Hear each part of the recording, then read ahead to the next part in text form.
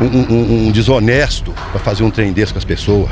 Revolta e indignação motivaram o enfermeiro aposentado a denunciar a situação precária da ambulância da prefeitura, que foi utilizada na madrugada de segunda-feira, 15 de junho, para levar pacientes e acompanhantes para tratamento em Belo Horizonte. O veículo, semelhante a uma ambulância do SAMU, estava transportando sete pessoas. Cinco pessoas na traseira de uma ambulância, porque a ambulância só tem a, a maca e aquela, aquela cadeirinha. Cinco pessoas, uma idosa de 82 anos.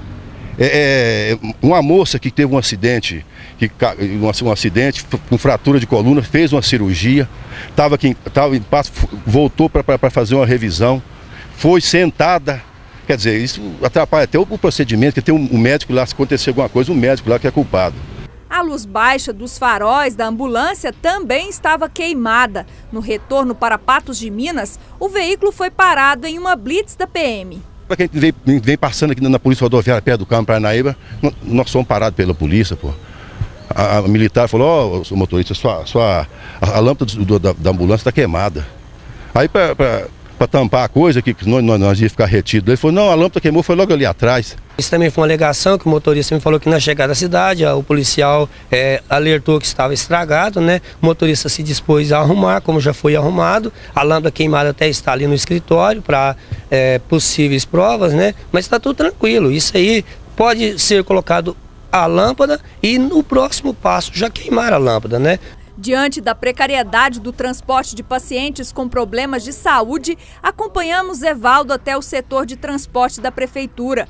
O intuito seria de saber sobre os critérios utilizados para definir o transporte. Recebeu que tipo de informação?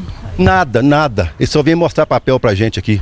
Mostrar e, e, não dizer nada do que está falando. A van que existe, tem uma van ou não tem uma van? Não, tem, tem uma van, mas ela está muito sucateada. Que ela vai até cinco vezes para Belo Horizonte que eu vou para essa rota Belo Horizonte. E tem só ela.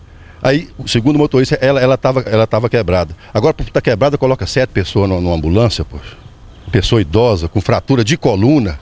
No pátio, flagramos três ambulâncias novas paradas, esta outra com pneu furado. Na revista institucional está a informação de que a Secretaria Municipal de Saúde possui ainda duas vans com 16 lugares, mas pela reclamação, parece que os veículos ainda não devem estar sendo utilizados. Pedro Lucas, eu sou seu amigo, eu quero te contar, eu sou do seu lado, estou te contar. Agora o cara nem receber a gente, o dia que ele estiver na, na, na, igreja do, do Rosário, na missa, eu quero chegar na porta e, e dar uma moção de aplauso para ele lá.